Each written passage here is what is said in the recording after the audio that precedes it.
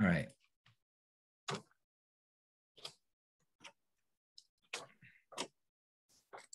Hello, everyone, and welcome um, to the first lecture in the Urban Computation lecture series. We'll kick off in a minute or two, just while our attendees list here populates and more and more people join. It's great. We're already past 40 people, which is incredible. I always like to go through the attendees list and call out names of people I know. Linda, how's it going? I can't hear you or see you, but no. I say hello.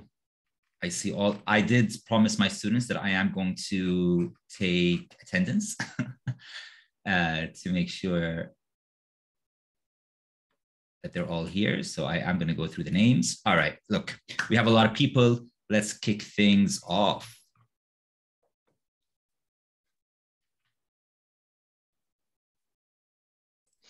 Nice. Um, Thanks. Thanks. Uh, let me just, I'm going to turn off the live transcripts just because this is a new feature that Zoom seems to have triggered without telling anyone. And I'll share my screen. All right, so welcome everyone to Urban Computation Lecture Series. This is the third or fourth year, I forget. Maybe the first year I didn't really tell anyone about it, but this is the third kind of international series that I'm running as part of the studio at the School of Architecture here at UTS um, and um, uh, part of the master's program. Before I kick off, I'd like to acknowledge the Gadigal people of the Eora Nation, upon whose ancestral lands our city campus at UTS now stands. I would like to also respect, uh, to pay respect to the elders, both past and present, acknowledging them as the traditional custodians of knowledge for this land. I would further like to acknowledge the traditional custodians of the various ancestral lands from which our attendees are joining us today and to pay respects to those elders past and present. So a quick overview of the series. It's a jam-packed series, I think with a lot of amazing talks. Of course, I'm going to say that because um, I'm the one who asked people to come in, but we're kicking off with an excellent talk from Matt and Josh from Arup, which I'll introduce in a second.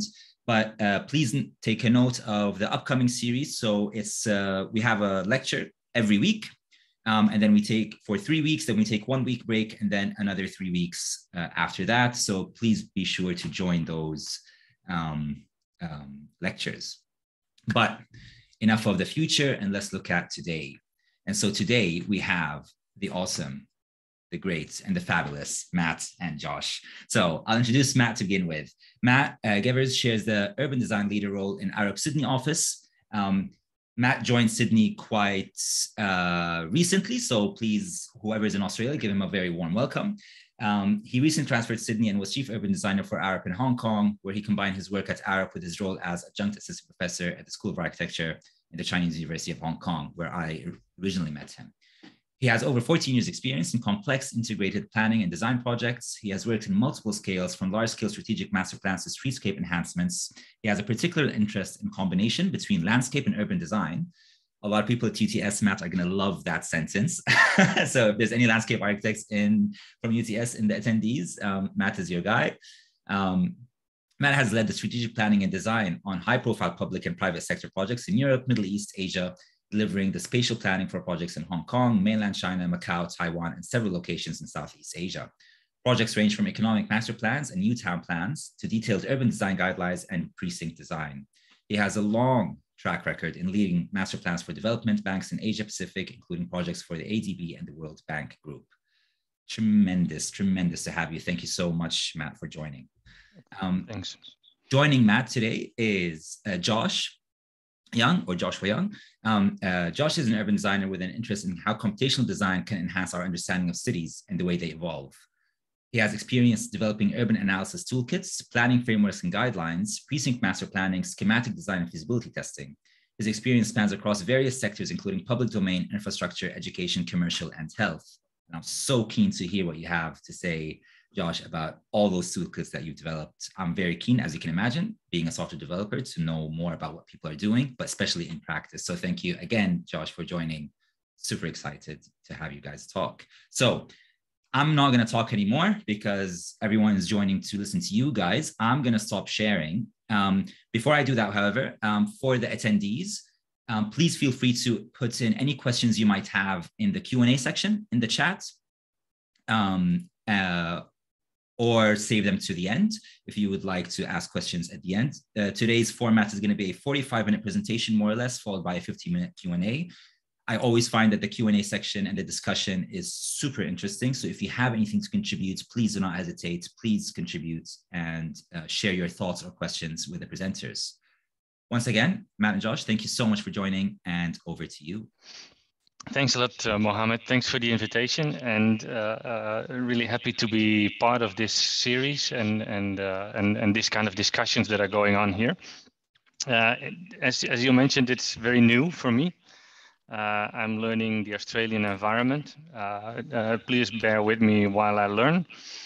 Um, but we've set together a, a, series of slides of tools that we have been working with methodologies that we've been developing um, across different regions in. Uh, and avoiding to, to make it a, a, showcase of and this and that and that and that tool, uh, we'll talk a bit uh, broader about methodologies and how toolkits can be applied and the role of the designer in that process, uh, which I which I think is a is a uh, very important discussion to have, especially when we talk about digitalization of the design environment. Um, thanks, Josh, for uh, for running the slides. Uh, we keep it very simple. We talk about three things today. Uh, one is data. The other one is data the design process and how data relates to that design process, how we're changing the way that we're working. Uh, and application or applications, the application of those thinkings uh, into uh, the design process or the use of applications uh, while we work with them. Um, and we go in, in a bit of detail uh, uh, through each of them.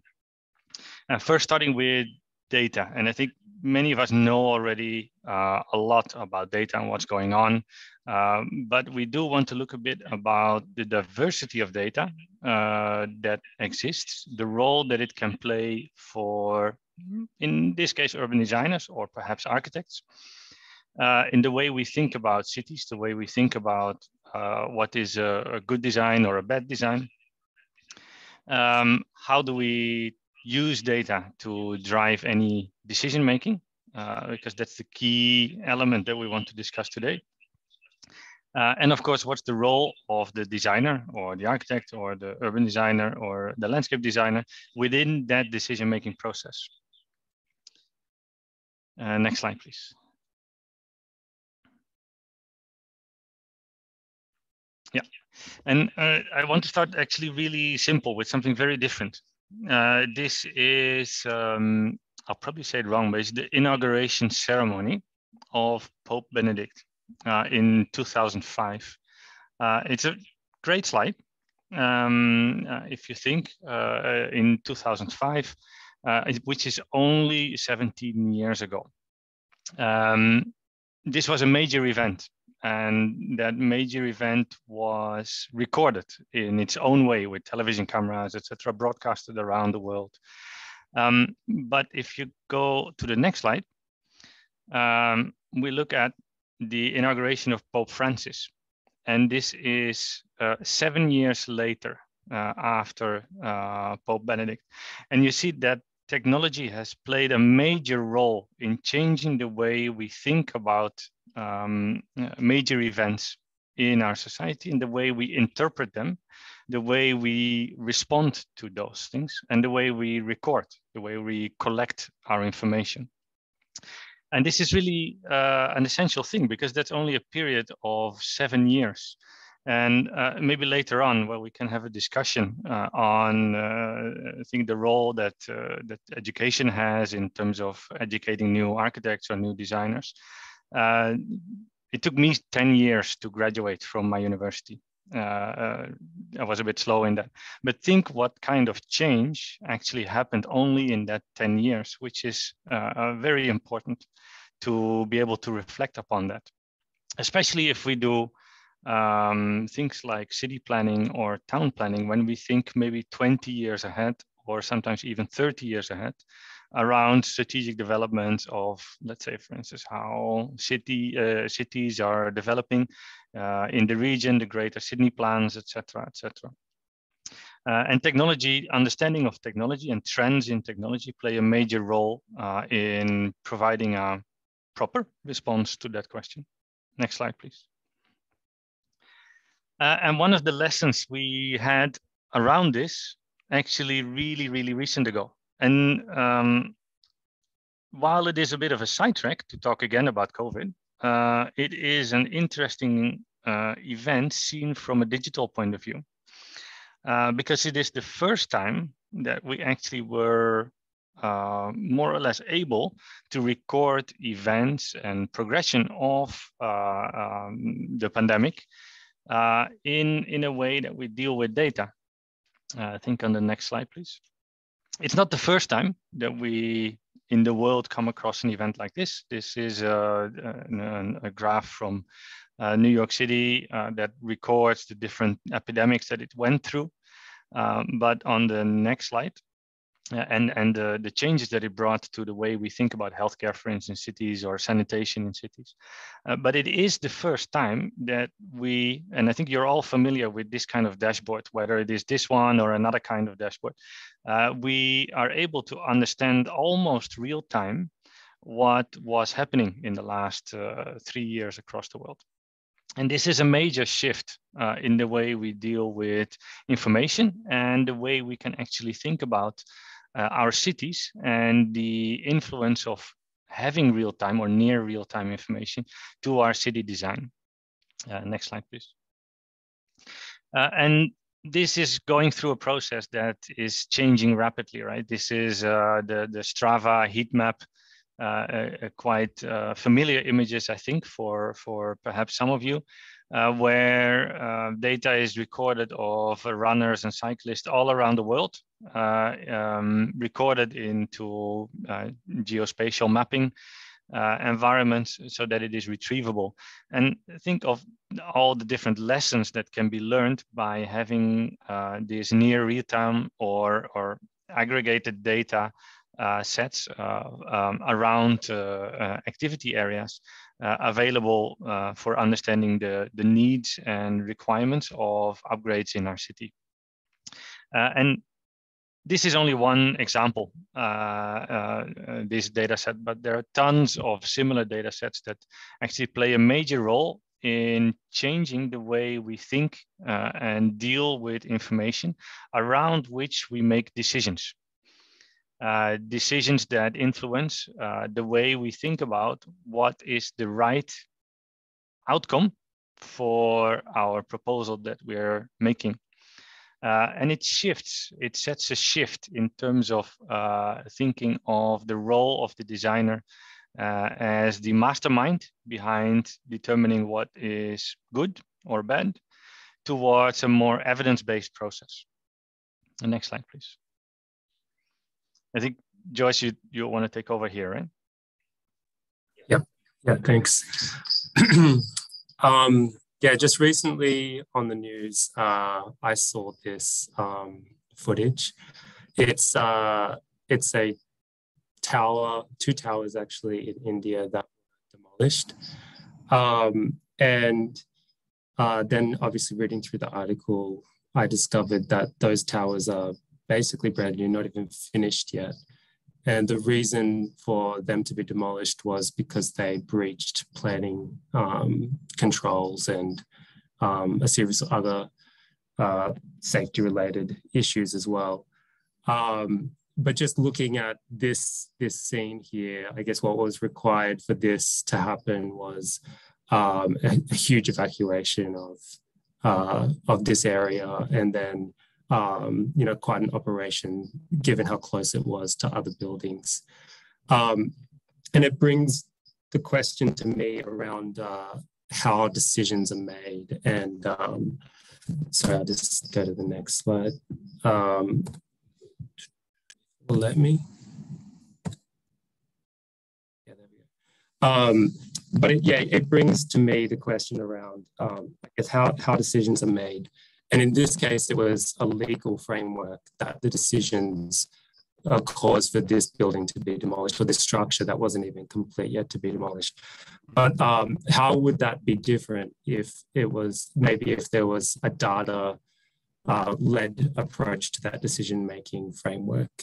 Um, how what kind of different outcome would have occurred if we had a data um, the data of say the embedded um, carbon that was in that structure or the the impacts that that might cause to to the surrounding community or what the potential for that structure could be for other uses if it was if those other concerns were resolved. Um, and so it starts to it starts to um, lead to the question around um, how will and how has data impacted the decision making process of, of in, in which we operate in as architects? Um, this here is the uh, just the mapping that's showing up here is the the input mapping and data from the City of Sydney's central planning strategy in 2016. Um, and uh, this is an example of um, where data is directly impacting how planning um, uh, planning pathways and um, processes, uh, how, how, to, how it is impacting those um, and planning controls. And um, so what the city looked at doing was developing a whole range of mapping of the city, which demonstrate the complexity of an urban environment.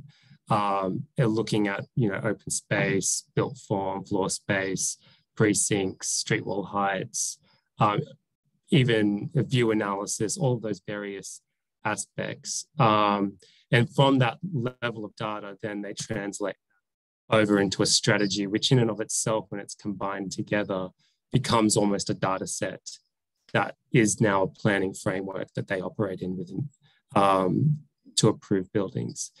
And I thought that was interesting just to, to think about how, yes, we have um, sort of these uh, legacy government frameworks that decisions are made within, but um, they're probably the, the remaining artifacts of of how um, of how you know the built environment comes to comes together and that we operate in. But over time, they will also be impacted by data and they will also be renewed through it as well. And it, it, it seems to be that as architects and designers that we are the ones who need to push for that shift to bring data led decision making into into these systems that are um, you know, being uh, shifted by technology as well.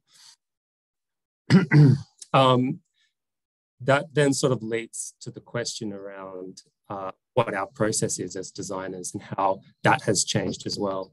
And so one of the things that, um, that I'm interested in is just how we work with data and how we um, engage with it um, and, and how that's shifting our the way that we that we operate. Um, this is, uh, I guess, two, two scenes that uh, juxtapose um, the pre-industrial way in which people worked potentially. So it's, it's fairly emotive, but um, and then how we how we work today or how things are manufactured today and that, that contrast. And I think it's interesting just to, to think about those two things and and what sort of their inherent values are between the two of them as well. Um, and so I guess on, on the left, you have something that's very much, uh, it's very much man-made. It's, it's very much, um, uh, in a way, so hands-on and personal as well in the way that people are engaging with that. Um, and then on the right, it's something which is um, mass-produced and um, and almost perfect in its outcome and that's the intent of, of how it of how it works. And then I start to think about how that shifts to our design process as well. And so on the left, you have um, the typical or traditional um, architectural drawing, drafting um, studio. And then I tried to think of how maybe I work um, today and how that would be represented. And the best I could come up with was thousands of tabs opened. Um, and even tabs or windows inside windows of how I am kind of constantly working across different platforms and looking at different inputs. I think the key thing about how different these two approaches are is um, firstly the the inspiration behind the work. Um, in sort of the traditional sense, it was very much about what you directly engaged with in your physical space. Uh, and then and then secondly, it was this hands-on approach of you drawing every single drawing and engaging with your design in a really personal way. Uh, and then leading to how we might work today is this inspiration coming from absolutely everywhere, but then also at the same time, um, this automation of the way that we work and that we can generate thousands of options. And so it, its level of, of my input towards it is, is sort of changed in, in, in that, in that way as well. Um, and then, and then looking at that, um, how does that impact the design of cities and how does that impact um, or, or, change the way in which uh, we view our role as designers of cities?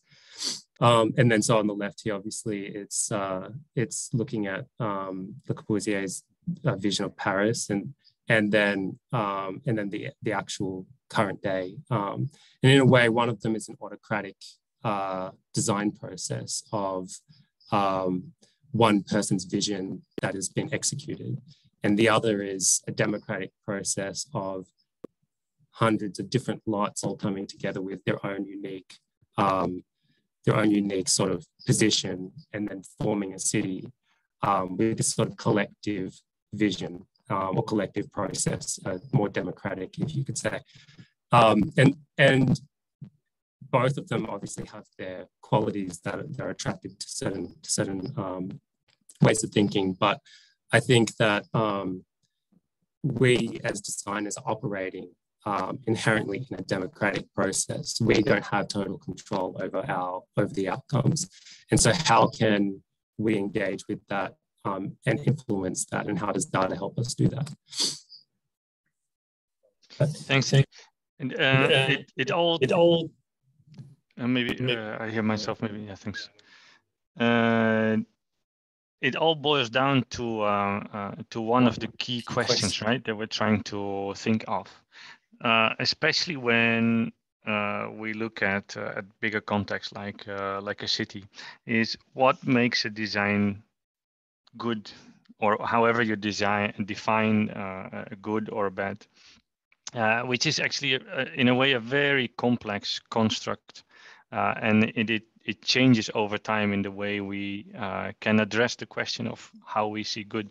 Is it only uh, spatially good or is it uh, good because it benefits the largest amount of people uh, from that design?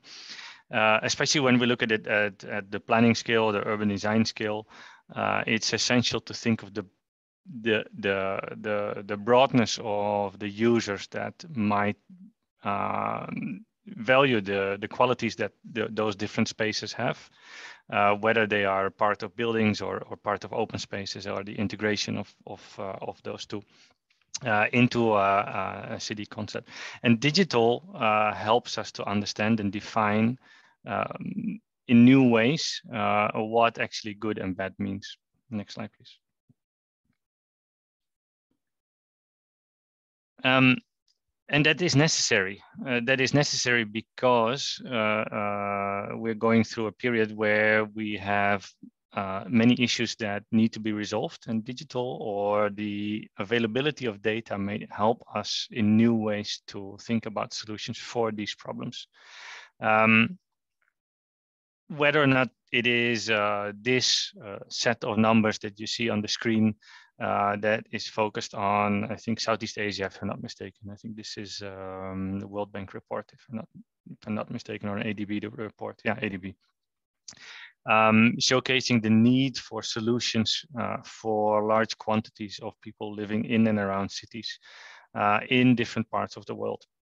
Um, and how data can actually uh, play a role in finding the best solutions and defining, therefore, what is a good solution uh, for those specific needs. Next slide, please. Um, and we might do that uh, in a traditional form based on experience, the way we've learned from doing previously. Uh, in terms of uh, uh, dealing with problems and how we respond to um, potential solutions. We know that certain things work well and therefore we apply them. Um, but there are limitations to that way and digital uh, or the availability of data may help us um, surpass some of these constraints that we have. Thinking, for instance, in new ways on how to uh, look at regenerative design, because we know more about embodied or operational carbon um, uh, from the future product, or even make decisions based on several optioneering uh, uh, options that we have during the optioneering phase uh, in a process uh, in making any decisions towards what the right solution or the good solution might be for a specific problem. Next slide, please. Uh, and that need that that leads us to thinking again about uh, the role of um, data in the design process. Um, if we simplify that design process from the establishment of a certain kind of need, whether that is very pragmatic or um, a very social need, towards the end product, an outcome uh, of either a space or, or a, another form of a product. Uh, and the way that data is gathered uh, in that entire process and data is being used in that entire process to make decisions. So thinking from uh, need, the translation into a brief of requirements uh, with which uh, professionals will aim to find solutions for specific problems that are identified in that brief.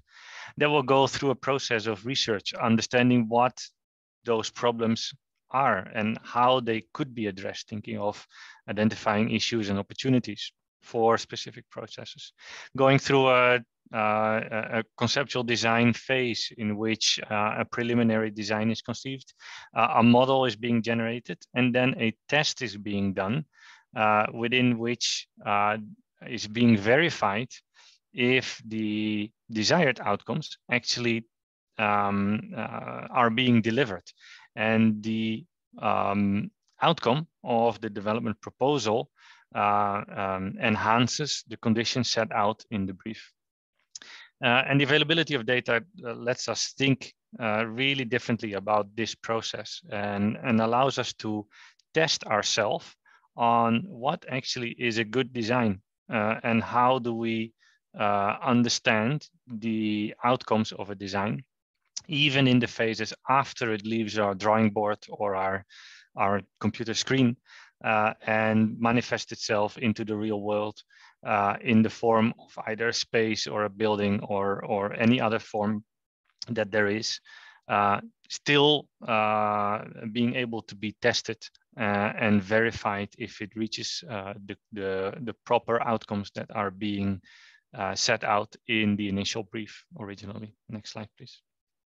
And you see that the, the, both the research and the test phase here uh, are very much data driven uh, and play a very uh, important role in, in thinking iteratively about what is that good design? Is it, is it the design that the designer says, okay, this is what we think is good, or is there a data driven approach behind it, which allows us to further elaborate on which elements of this proposal are good and how they respond to certain types of needs within um, uh, the, the, either mentioned in the brief or in the in the set of needs in the beginning.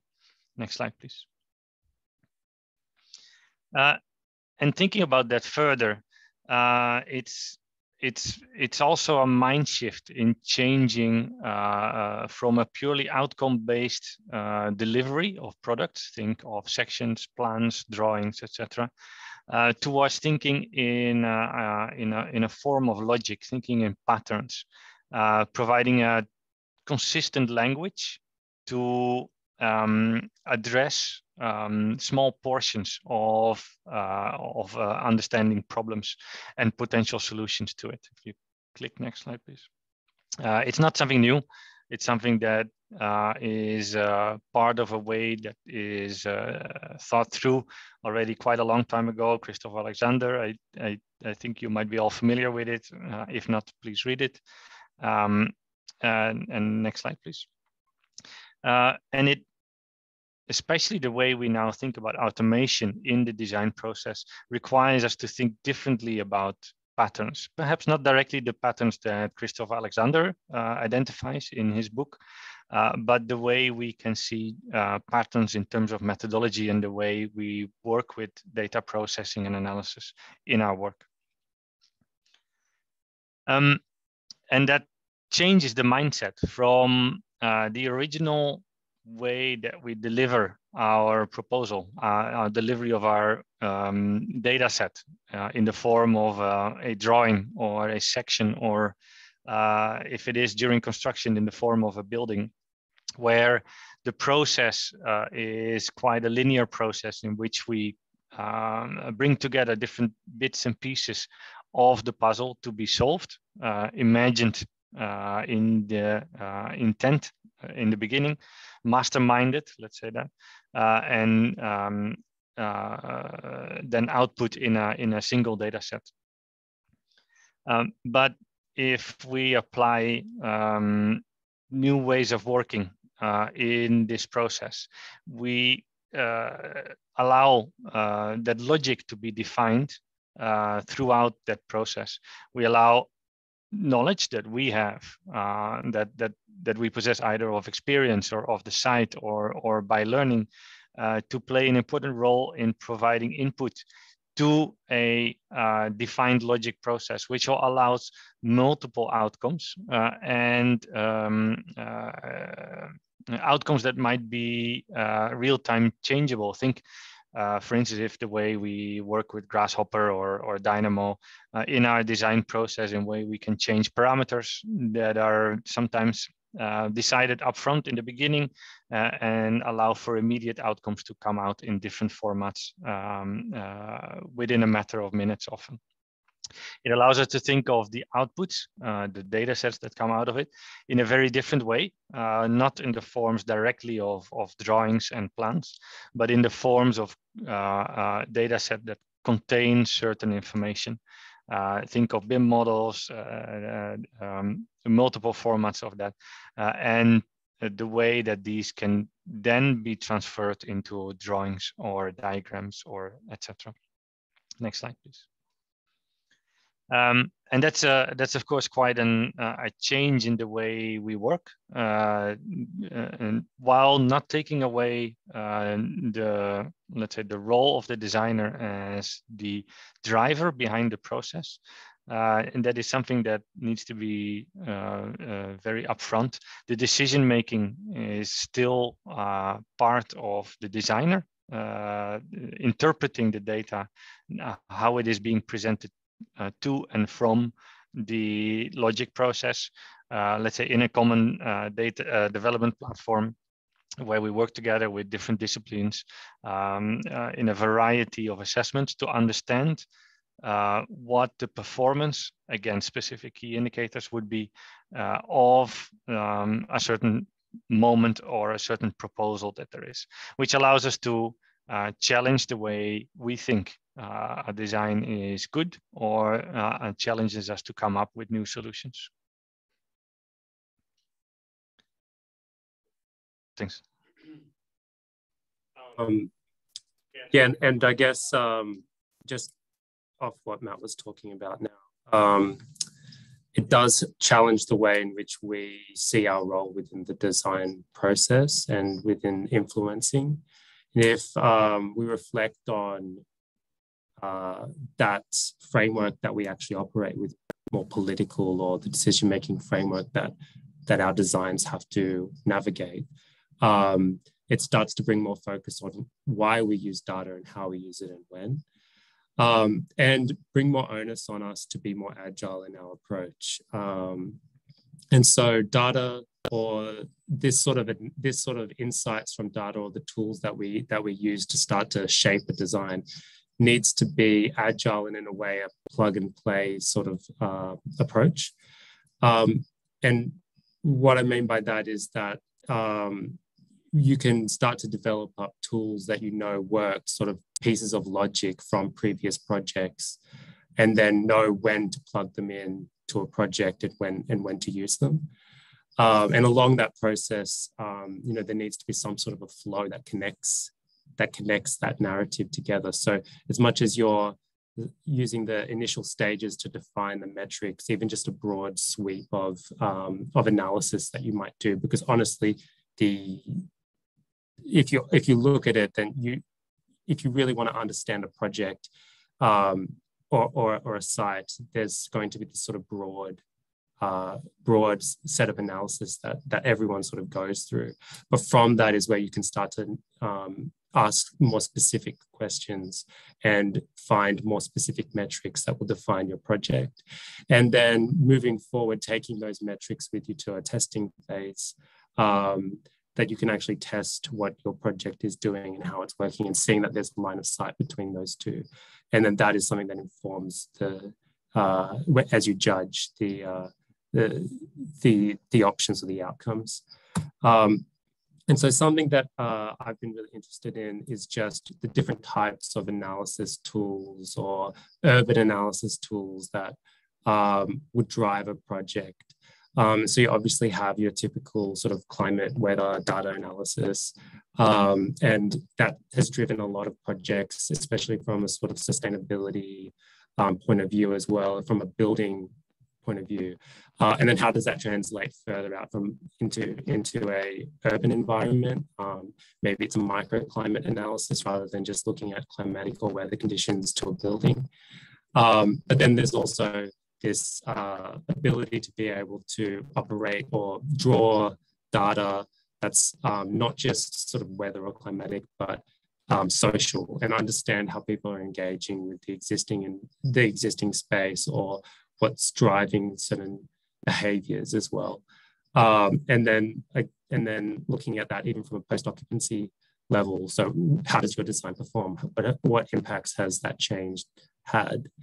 Um, but then I think another interesting um, element that we have um, to use as designers now is um, being able to engage with the existing fabric in much more meaningful way. So using advanced LiDAR tools or having really accurate digital twins that allow us to be able to work with the existing fabric and not look at sites as sort of a, a um, flat or blank canvas, but start to work with the elements that are there in a much more meaningful way.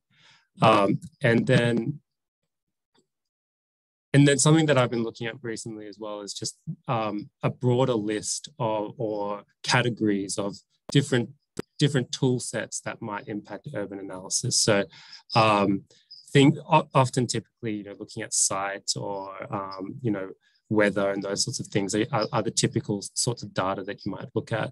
But um, energy use, resilience, social um, metrics, um, transport, how people are moving through space, um, and then also health as well, and uh, understanding um, the impacts that, that it might have on ecosystems, uh, water, uh, and other sort of health metrics as well. So all of these things um, can provide a lot more um, evidence behind a design and, and help to start to target certain questions as well.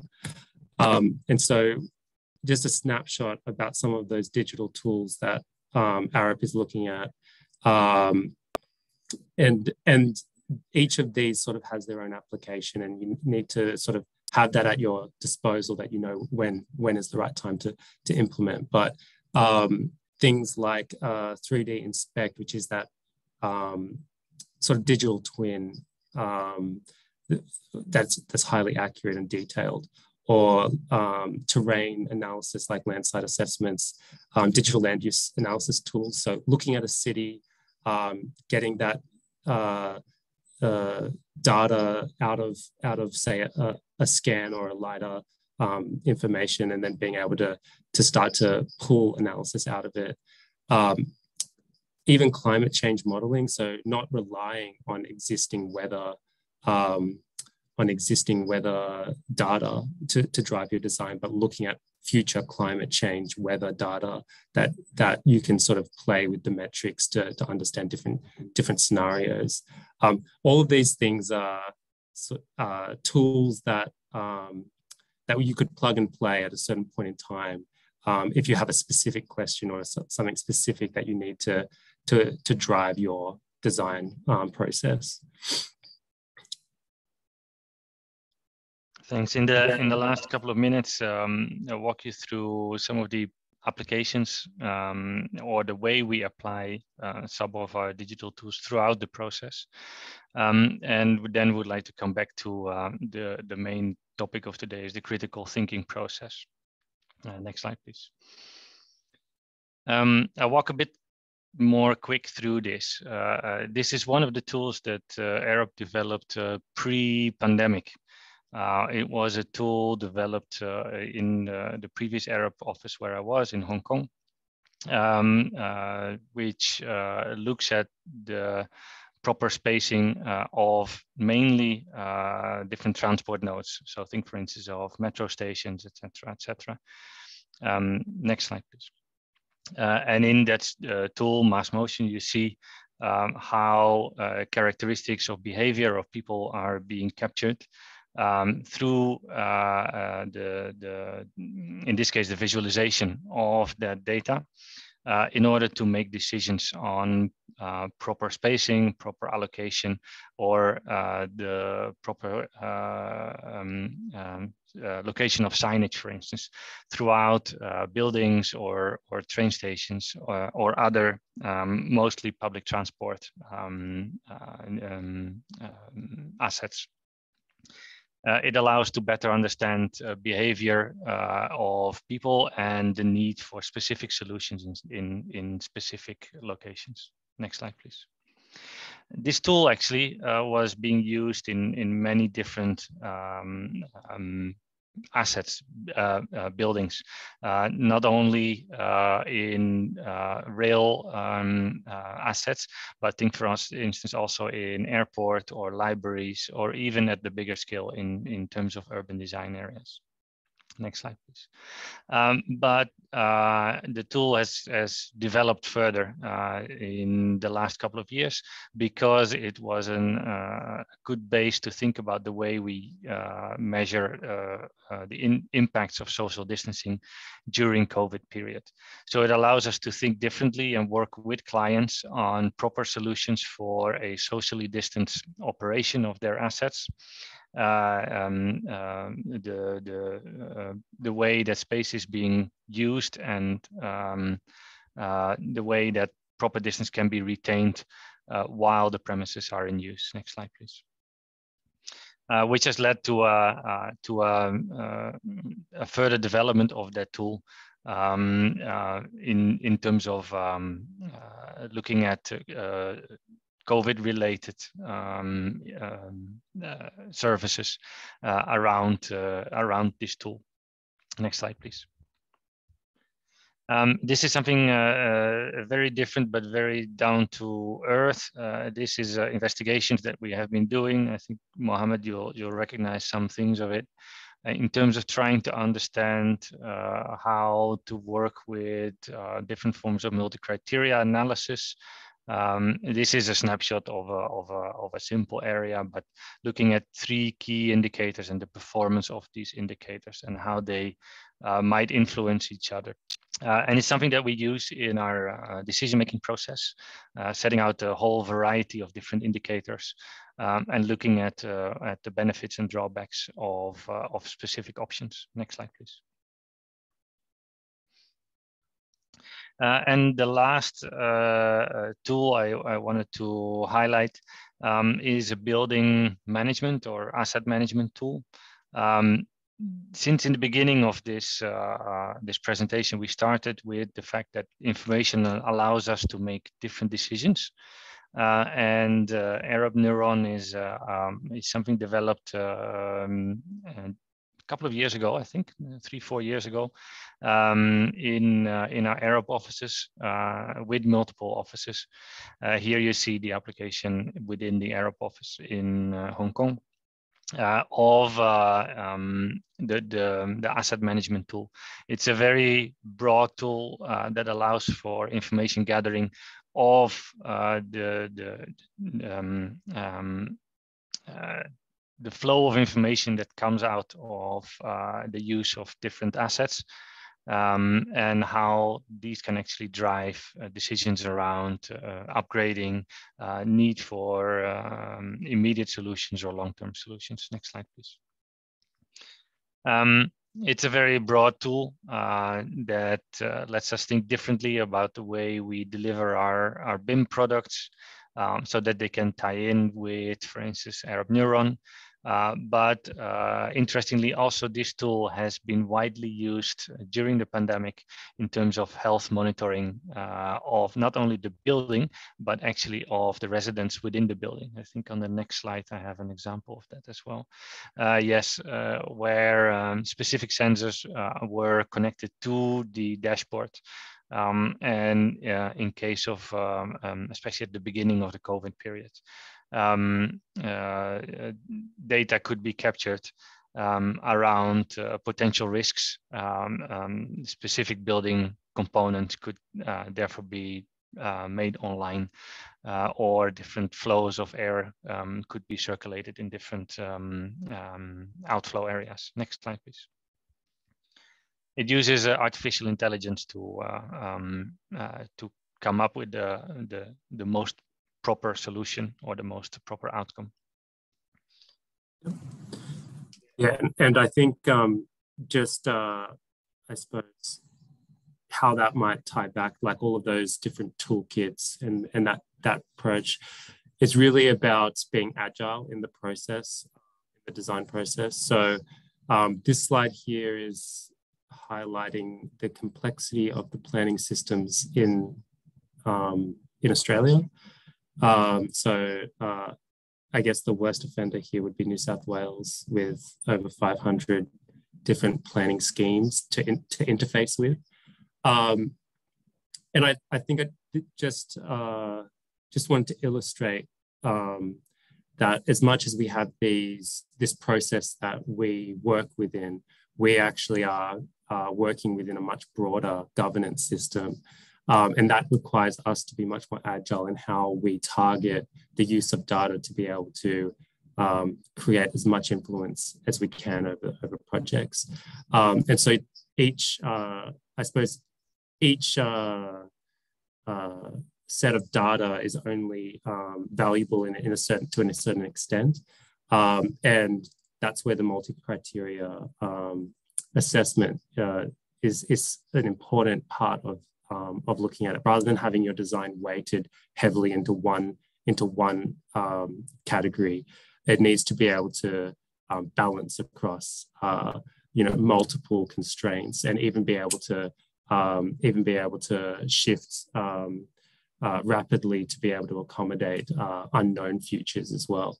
Uh, and so um, and so as much as there's a, a, need to sort of create this sort of broader um, process that really needs to be agile that you can plug in um, in different uh, uh, tools as along the way and, and understand at, at what time to to to start to to toggle um, on and off different different inputs. Um, but yeah, I think we had uh, some questions and things for the group. Um, but I don't know, Matt, if you wanted to wrap up around critical thinking? Yeah, I, I, think the main, uh, uh, since technology is changing so rapidly, right? Um, in, in a matter of years, the, uh, the application of a, a certain tool uh, might be outdated, etc., etc. So it's very much about the role of the designer within that process uh, and uh, the way that the, the designer um, the, the shifting skill sets of the designer uh, and, uh, and, and how the different tools are being implemented throughout that process. Um, I think that leads us to uh, a couple of questions, maybe perhaps as a teaser to start a discussion. Um, um, if, if, if there are any questions, of course, uh, it's also fine. But uh, some questions that I think are, are very relevant to ask is what what skills would uh, a designer need nowadays um, in comparison to the traditional, let's say, design skills? Uh, are they about uh, programming or are they about uh, a broader context within where, where programming plays a, a role as well? Um, are they around decision making and critical thinking around such tools, for instance? Um, of course, it also allows us to think and discuss broadly about how should our practice, our design practice, adapt to maximize influence, uh, the way that decisions are being made, the way that we think about good project versus less good or bad projects. Um, it allows us to think of uh, uh of the design process itself. If we think only internally, um, uh, has that has there been a shift in the design process and the way we look at the way we design? Um, not dismissing the role of paper and pen throughout the design process. Um, the role of the designer, of course, as traditionally the mastermind uh, versus a, a more uh, data-driven, uh, uh, critical design designer role. Uh, and of course, uh, the influence of data and the designers behind uh, those data sets in the existing governance systems as I mentioned, uh, technology evolves very rapidly. Uh, coming back to the main question that we're uh, perhaps uh, wanting to discuss also today is the role of education uh, to keep up with such rapid changes. I think I would be happy to discuss any questions you might have. Uh, if not, these are our, our teasers. Superb. Thanks so much. That was actually fascinating.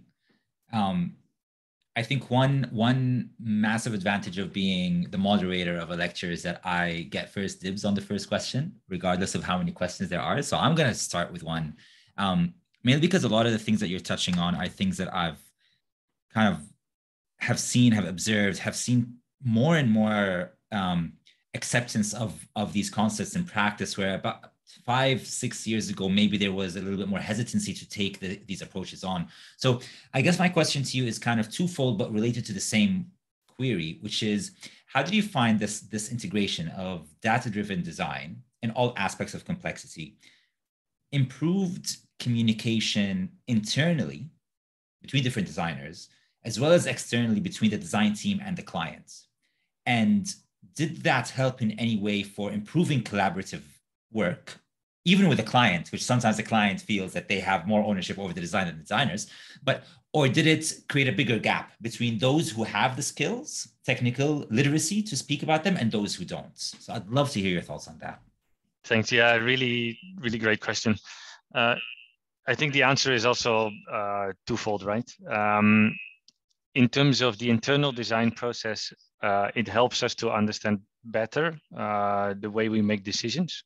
It helps us better to explain uh, uh, the benefits and drawbacks of, for instance, options that we or the process that we've gone through to our clients. Um, but we also see quite often uh, that our clients need to um, uh, take the evidence that we give them uh, the evidence towards the decision making uh, as a given uh, because they might not have insight in the details behind uh, how that uh, decision has been made how that process have gone through and how the data behind used within that process has been collected manipulated and has evolved into um, um, a recommended solution. I think the discussions uh, has therefore changed with our clients from um, uh, uh, often a, a very um, uh, outcome focused uh, discussion towards a much more process based discussion in terms of creating um, collaborative understanding that the solution is the proper solution or that the methodology being used is the right methodology with which to derive um, the most suitable out outcomes. Uh, to give you an example, uh, in Hong Kong, in the in the process, um, an, an air ventilation assessment is part of the design process of any statutory um, application. Um, that AVA process goes through a very rigid um, set uh, of assessments, uh, and only specific tools according to the, the, the government system, are able to deliver that outcome properly. Um, so many of the discussions that we are going through is, for instance, the way that uh, the quality of the output of certain non um, specific AVA tools. Uh, and if they can deliver similar quality outputs that therefore might be deemed acceptable uh, for government uh, approval. Uh, so that the risk that is embedded in approving a certain outcome uh, uh, can be controlled. And, and, I think that that's where the, the uncertainty lies, right? If I don't know the tool, how can I accept that that's the proper outcome? Um, so I think that that communication process um, has has changed from the traditional design process towards speaking much more in detail about methodologies, and that is both internal and, and external. That's fascinating. I, I do have a follow up question, but I'm going to take a little bit of a backseat here and allow um, the attendees because they're starting to fill in their questions. So I'm going to just start to read these out just so uh, other attendees can listen in. So um, I'll start with uh, Jackie's question. Um, uh, what percentage would you say data and computationally aided processes is involved in the overall process of designing a project at the moment?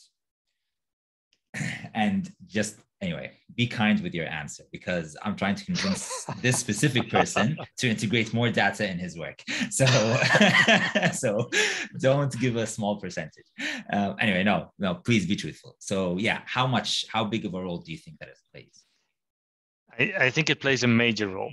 Uh, maybe maybe Josh, you can supplement after me. Um, it is, uh, but it may not be such a shift as you might call it, because let's say the traditional design process still goes through data collection, data analysis, interpretation of data, and um, the the multi-criteria analysis in terms of creating a potential solution.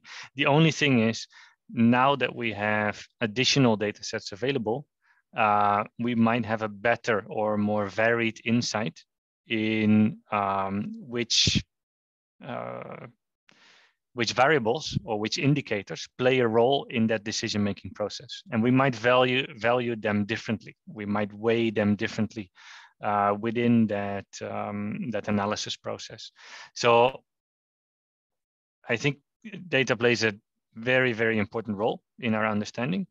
Uh, data as you might use the word now data as being the, the computer generated data sets uh, in which you make decisions. Um, yes, it plays an important role, but still the traditional data sets uh, as just interpreting by yourself the survey maps, interpreting by yourself uh, um, data sets around climate, etc., etc., still play an essential role in the decision-making process. The only thing is, uh, uh, in that methodology, you'll need to find a way how to um, combine those traditional methods with those modern methods.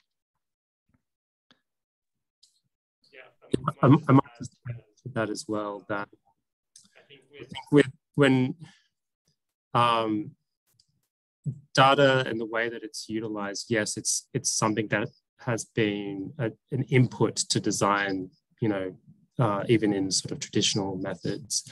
Um, but I think that now we have the capacity to be able to string it all the way through the design process and establish metrics at the beginning that um, that then you can use to test um, at the end or or throughout. Um, and then because of the ability to be able to draw on, say, um, big data or this, this huge pool of data, uh, and then have your own designs almost have their output data as well, you, you can draw parallels between projects. Um, and so you can start to benchmark what is good um, or what is a good outcome against many projects in, you know, uh, over a course of, of uh, you know, your career as well. As you look at it, you can start to, to benchmark um, cities against each other um, because of the ability to be able to process that level of data. And I think it's really important as well, that comment around, you know, how you weight things. Um, if just being very mindful of, um, of uh, what you're putting placing value on and being able to to articulate that and the reasons why a design has gone in a certain way rather than just saying it was an outcome of this process it's an outcome of decision making along that process Yeah, thanks for thanks for mentioning that. I think that's a very important uh, uh, topic, right? Uh, data can be overwhelming and uh, can take over uh, your thinking uh, in the design process. Uh, it's it's really essential, and I think that's the message that that we we we try to embed here in this presentation is. the designer is always the, the driver of that vehicle um, that that is that data set. It's still the designer that decides in the end what uh, the right solution will be based on better and more uh, detailed information, uh, a, a, a, more accurate analysis, uh, a broader analysis. But still, it is in the end the role of the designer to be in control of where that vehicle is going and if it turns right or left. It might come from, uh, if, if we just look at experiences, it might come from very different directions where uh, in, for instance, one of our processes uh, for a master plan, we came up with the optimal solution uh, based on set of KPIs that we set out uh, until the client said, yes, all very nice. Uh, but our company policy is to put more effort on green building design. And therefore we will go for option three and not your proposed option number one. Uh, so think of data as part of the design process uh, while the designer still remains the driver to control that process. That's spot on. I, uh, I completely agree with every word of that. Um, because I think it's also important not to just think about this as just this kind of independent machine, and suddenly it becomes less of a democratic process when in reality it is just a tool to further emphasize and support a democratic process, which I, I think is super spot on. On that topic of data and access to that data, I'd like to kind of, and I apologize, you're probably listening to my kids in the background, they're screaming their heads off, but I'll ignore that. Um, Madely's asking about various ways in which we can get um, access to data but at more affordable costs. And I think this is a very important topic because, uh, as uh, Josh also mentioned, the, we live in unprecedented times where we can actually compare the performance of cities, cities to each other. And that's purely because of our access to data. The problem is that, um, as with any capitalist society, there's value there. And so there are people who are trying to kind of privatize that and make access, restrict access to data. So what what are your thoughts? Like, how do we? Is, is this is this a situation where look make as the data as widely accessible as possible for everyone to benefit from, or do we also must give credit to the people collecting this data because it's not an easy process to be able to collect the data at a city scale, for example? Yeah, yeah, yeah, absolutely understand. Um, I think we're going through a transition process at the moment, right? In in these years where um, let's say public data uh, is uh, is a valuable asset uh, to have and to work with. Think, for instance, on the reluctancy often of transport departments to release um, data around uh, uh, road toll uh, systems um, or, or similar kind of um, um, of information. I think even on information on specific uses of the road by different types of vehicles. Uh, all these data sets are available, but often not yet released to public um, by, especially by government departments. Um, private sector, of course, has a very different motive behind retaining data. Um, I think on the public sector side, uh, we're now going through a learning process where also government departments learn to deal uh, with their data sets, um, uh, learn to understand the value of sharing some of those data sets, um, in the end, in their favor.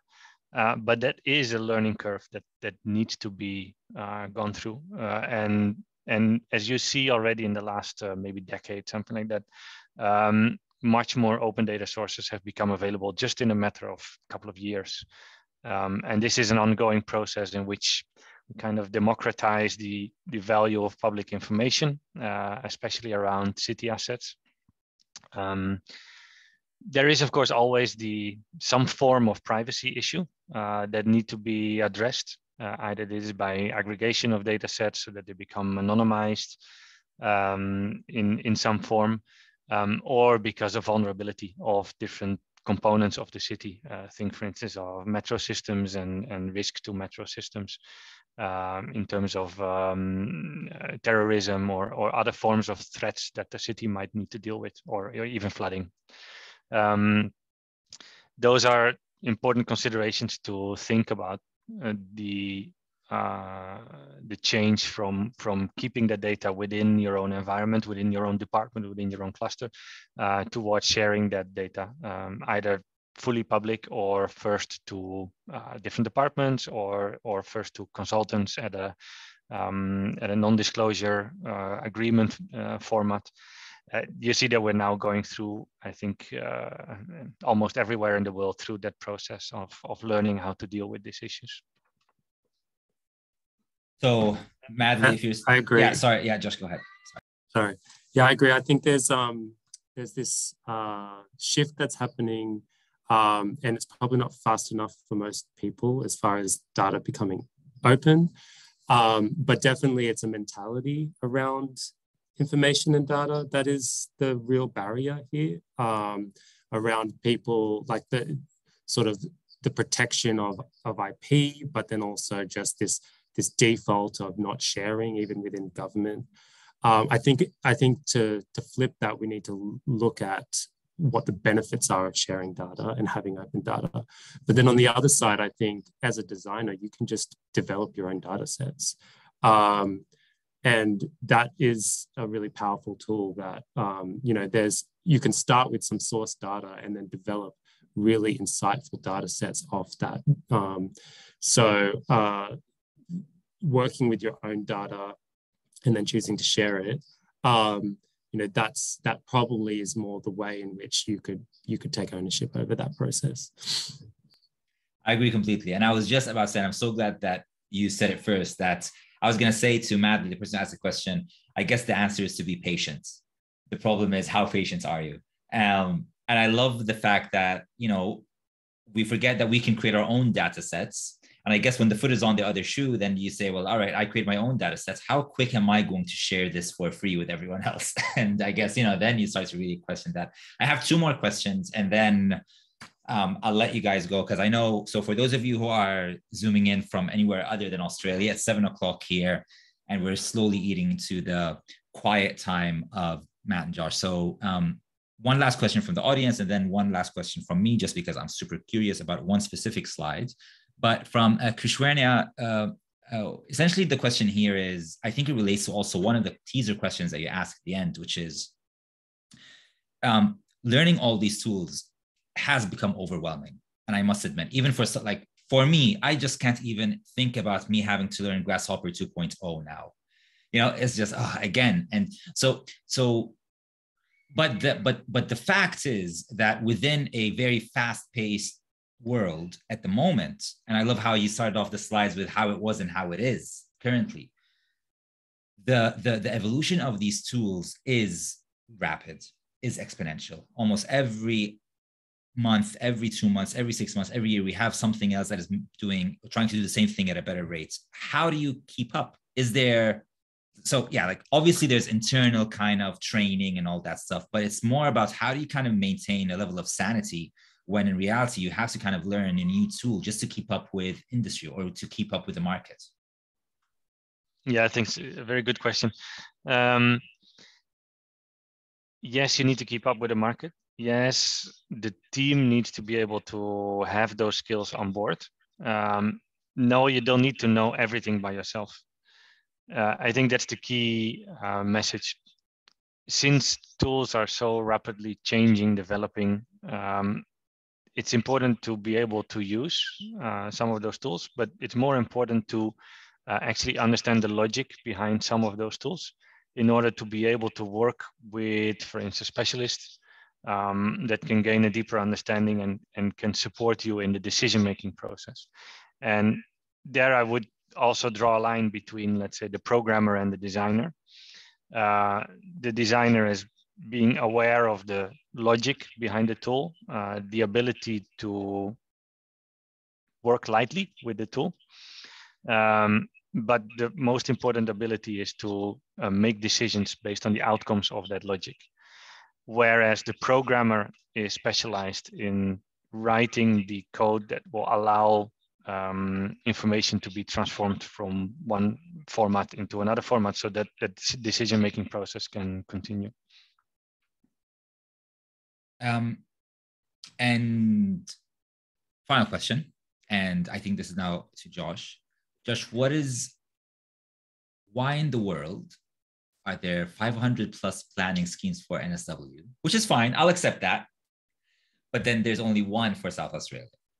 That is mind blowing. So please, I have no idea. This is not a trick question. I just really am so curious about this massive kind of gap between, I'm assuming, schemes that are trying to do the same thing, creating better planning mechanisms. Anyway, what are your thoughts on both of you on that? And then we can end it there.